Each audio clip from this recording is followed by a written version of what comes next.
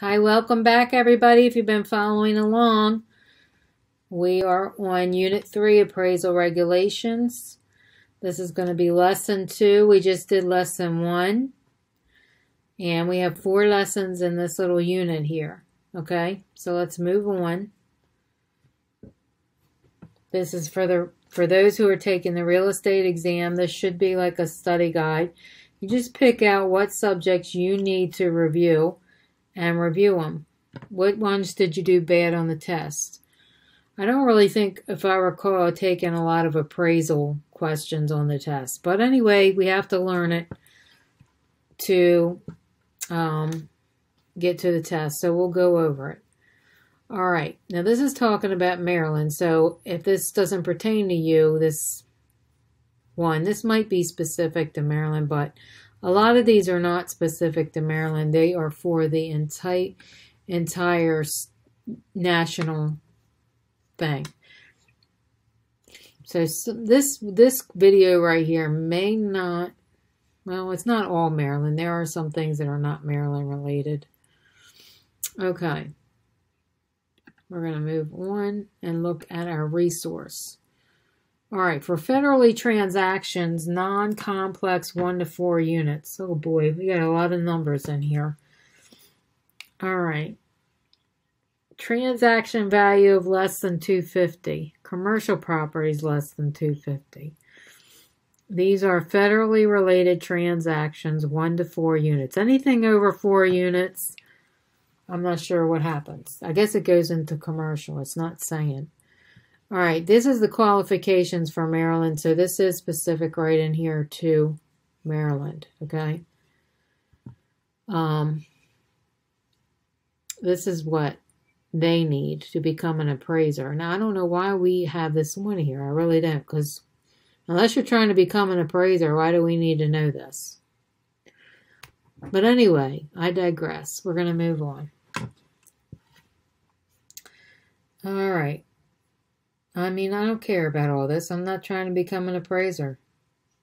Seriously. Okay. Home inspector. I mean, these are good fields to be in. I'm just not going to be doing it. But if you're interested in it, these are some of the things you got to do. Okay.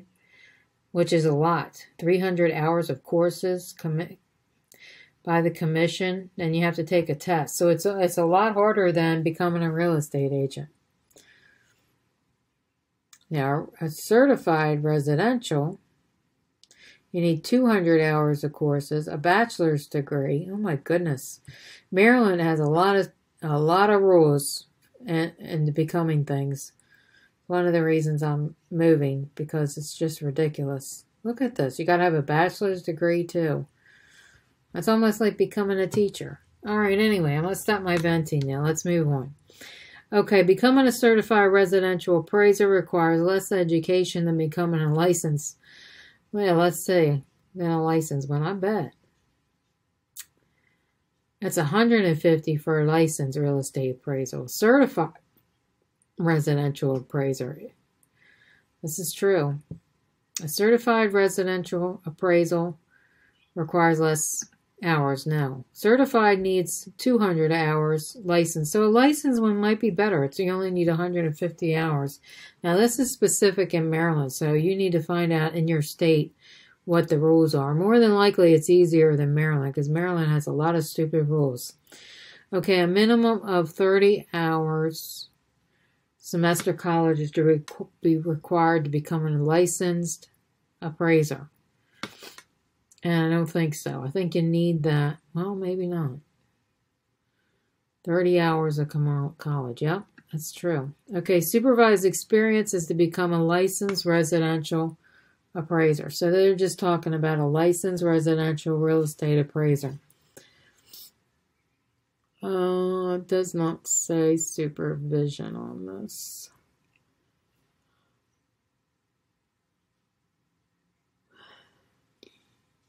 Uh, appraiser trainee does, but not a licensed residential. I don't see it anyway, unless I'm missing something here. Okay, I'm going to say no on that one. No, you do. Okay. Appraisal experience is needed and you need to be under appraisal. This sounds like it's really involved. It really does. Look at that. You have to complete, look at all the stuff you got to do for an attorney, and then that's just to become a licensed real estate appraisal. So this is really involved in becoming an appraiser. That's a whole, whole nother, I might do a whole video on that. Becoming a licensed appraiser. I don't know if it's this tough in other states. If you're in another state and you're an appraiser, be sure and comment and let us know before because this looks pretty involved. In Maryland, anyway. Requires less education. Certified residential. No, that's not true. This is true, and this is true. Okay. Wow. All right. Was that it on lesson two? Oh my gosh. That's going to be the shortest video ever. I think. Yeah, lesson two, appraiser qualifications. Okay. All right, so lesson three. I usually do each one in their own video because I don't know how long it's going to be. I mean, it could be super long and then this video will go on really long. I don't know. Do we want to continue? No. Let's make it a new video.